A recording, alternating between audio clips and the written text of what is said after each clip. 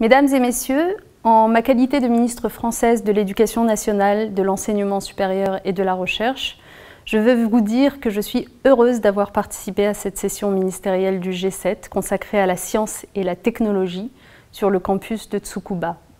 J'en profite pour remercier chaleureusement nos hôtes japonais pour la qualité de leur accueil et pour le succès de cette réunion internationale.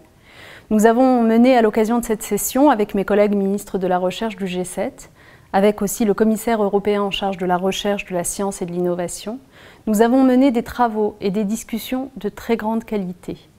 À l'issue de ces trois jours de réunion, nous reconnaissons la science, la technologie et l'innovation comme essentielles, non seulement pour le développement social et économique, mais surtout pour relever ces défis globaux que sont la santé, l'énergie ou l'environnement. Actuellement, nos sociétés font face à des enjeux cruciaux, vieillissement de la population, inégalité entre hommes et femmes, contraintes énergétiques et environnementales.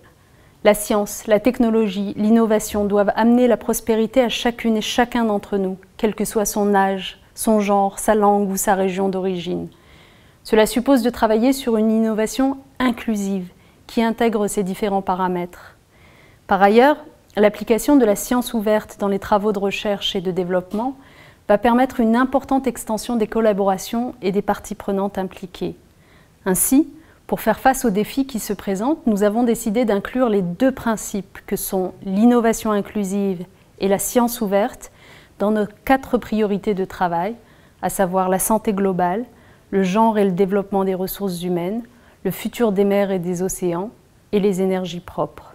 Ce sont, vous le voyez, autant d'enjeux qui ne sont pas l'apanage de quelques-uns il nous concerne toutes et tous. C'est pourquoi il est indispensable d'œuvrer pour une collaboration mondiale. Nous sommes tous, comme le formulait Blaise Pascal, homme de science et de lettres, nous sommes tous embarqués.